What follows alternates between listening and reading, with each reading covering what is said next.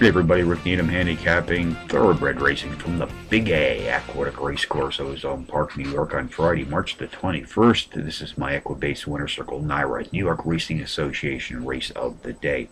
Take a look at race 7 this afternoon, folks. 4.14 p.m. Eastern Post Time.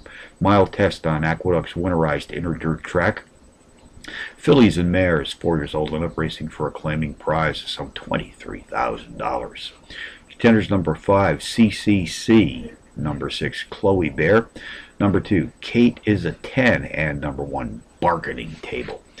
Number five, CCC has hit the board in each of her last five, with her last three board hit efforts, including a win in her third race back, also qualifying as power runs.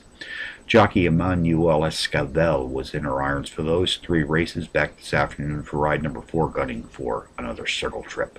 Number six, Chloe Bear takes a class drop of seven TrackMaster units. The overall speed leader in this field, she's produced a trio of power runs in her last five starts.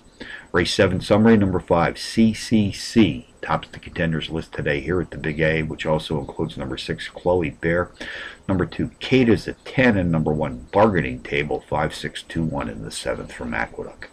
Bonus long shots, Charlestown, race 6, the 4 to 1 shot. Number 4, Fox Drive, takes a slight class drop. Nice speed for this 4.5 furlong sprint. Turfway Park in Kentucky, race 6, number 5, Oddity, 4 to 1 shot qualifies as a power pony, takes a class drop of four TrackMaster units. The overall speed leader this claiming field racing at tonight's distance of a mile on the cushioned dirt. So handicapping from Mac Aqueduct on a Friday. Rick Needham for the Equibase Winter Circle, reminding you as always to please bet with your head, not over.